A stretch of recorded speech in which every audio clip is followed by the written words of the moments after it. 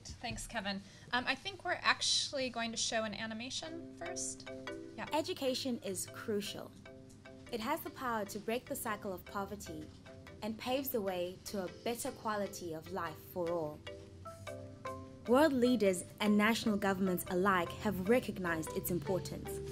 A comprehensive agenda known as Education for All set the ambition for global progress, while the Millennium Development Goals focus greater attention on achieving universal primary education and creating a level playing field between girls and boys.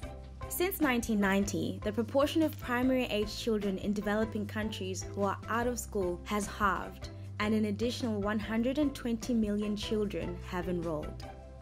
Huge improvements have also been made in getting girls into the classroom.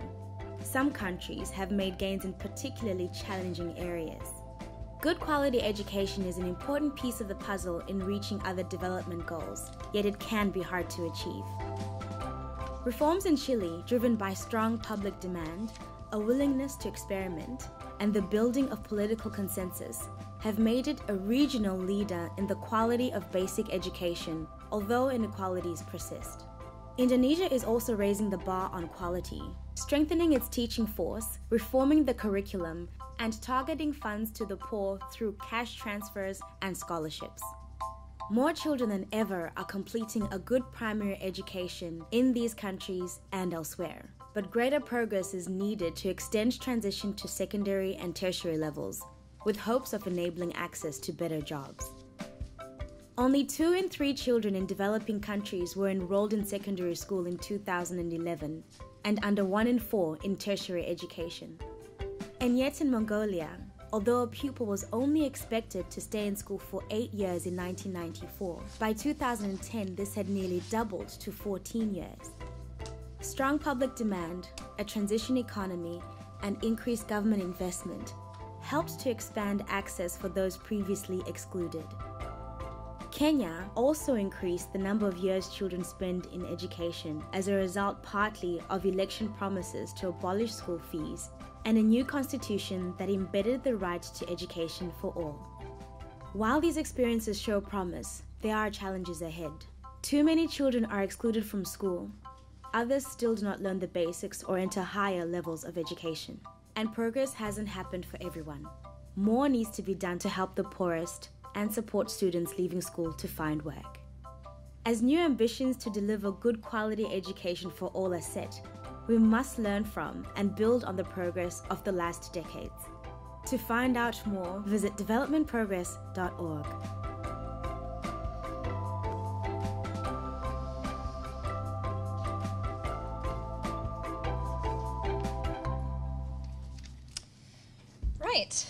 gives you a little bit of a taster of, of some of um, what we've been trying to look at and, and some of the specific countries that uh, we've been looking at in this research as well. Um, what I wanted to do now is to um, give you an overview first of what we're doing with the development project as a whole, and then um, highlighting what we've done in terms of education.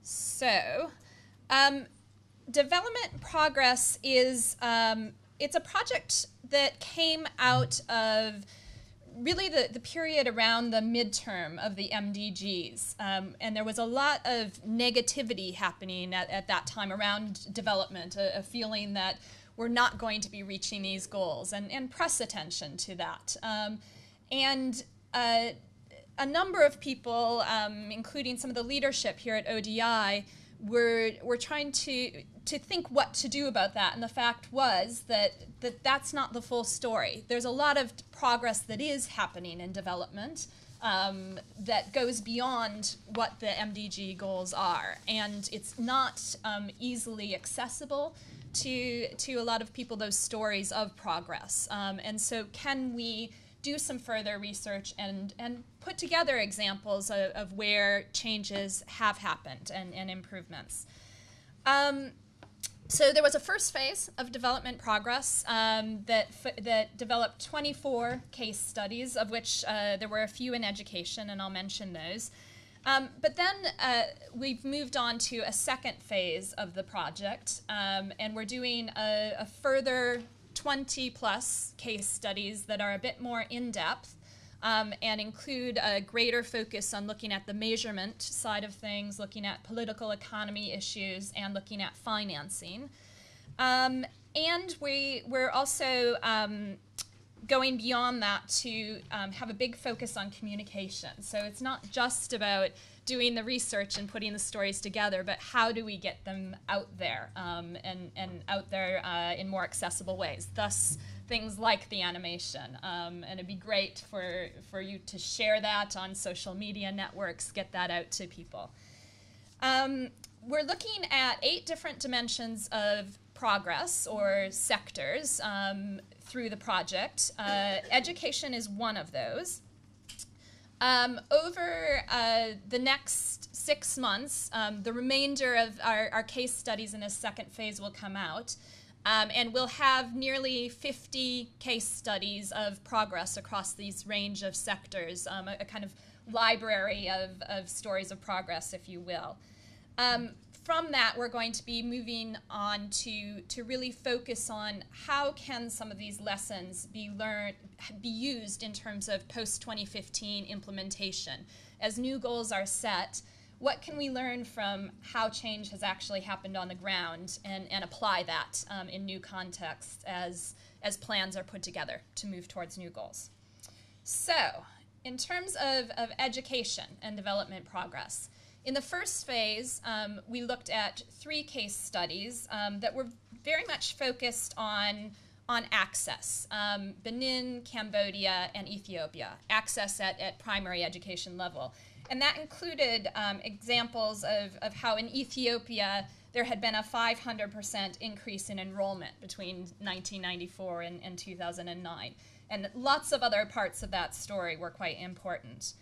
Um, what we wanted to do in this second phase was to move beyond looking at, at universal primary enrollment as, as an area to focus on some of the areas that are likely to, to need and, and uh, sit within the post 2015 goals related to education. So um, we've looked at post primary education in a couple of countries that have made some progress. Um, on uh, expanding access in particular um, to secondary education and some extent to tertiary, and a couple of countries that um, have, have shown improvements in quality.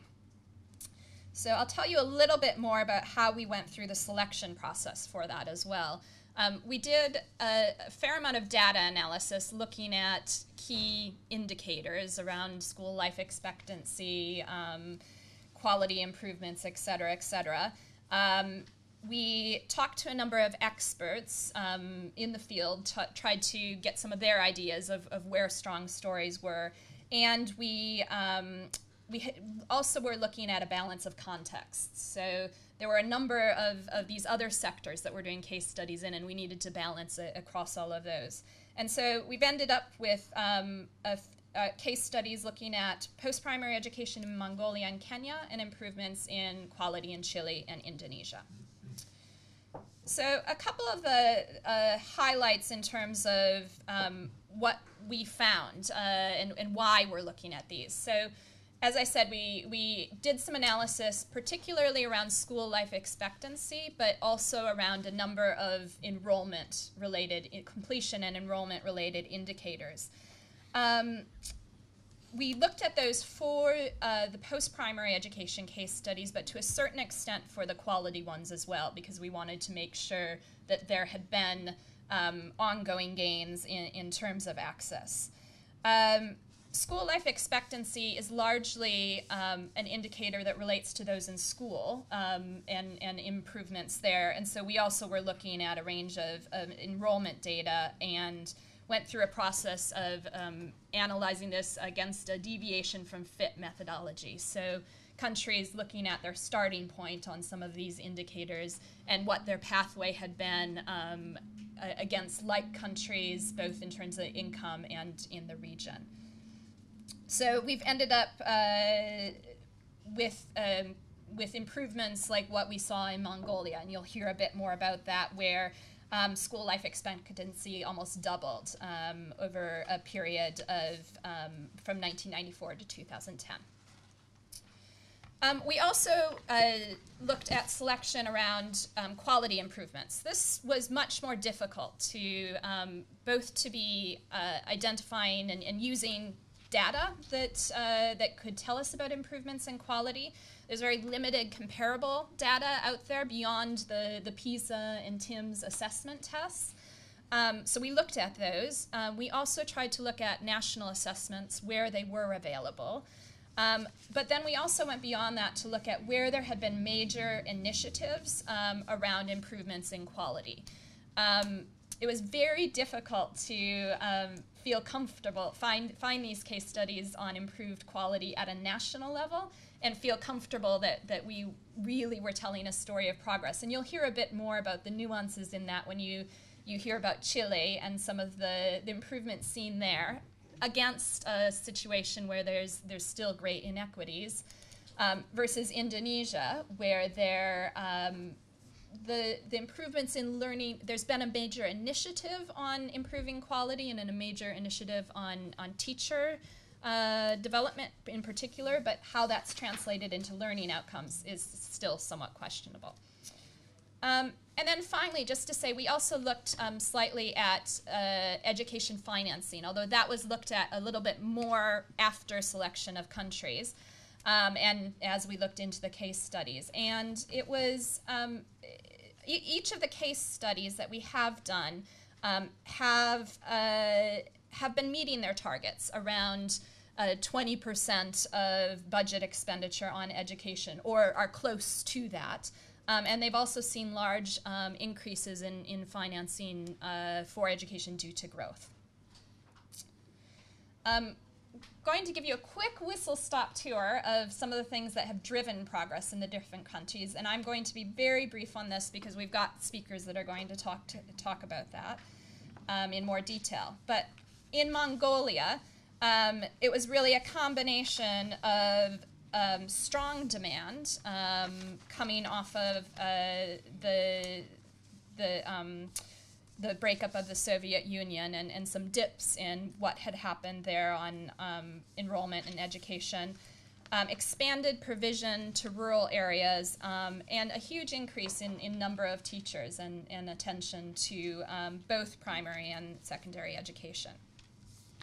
Um, in Kenya, some of the key drivers, again, um, demand is, is a major driver, and there's a strong history of community provision um, and community contributions to education through the Harambee movement there that, that have helped spur that on. Um, alongside uh, school fee abolition, both at the primary and secondary level, um, and a major political platform for education. Um, in Chile, uh, a focus on um, teacher upgrading has been um, a major part of the story, the driving progress, um, and an emphasis, a political emphasis on quality and a, a joining of the PISA and TIMSS and real concern from a political perspective of, of where Chile was ranking on those. So a big effort on quality resulted from, a, from that. And then finally in Indonesia, um, a, a focus on um, teacher upgrading, teacher certification has been a big driver, decentralization, and um, some really interesting work on targeted support to more marginalized children that actually, in, in a few cases, has, seems to link to improved learning outcomes. So was quick whistle-stop tour of some of the, the drivers that we've found. Um, the other thing I, I, wanted to highlight is a paper that we've done um, looking across these case studies and beyond on the political dyna- that have looked at the political dynamics that have um, driven progress in education. And we were uh, started to ask the question, well, why is it that it seems that there there has been so much progress on access and it, it's quite difficult to gain traction on improving quality? Um, and so as we um, examined some of those questions, what we've found is there, there really seems to be a perfect storm um, between global goals that uh, emphasize access and a number of domestic incentives in, in many countries that favor a focus on access over quality.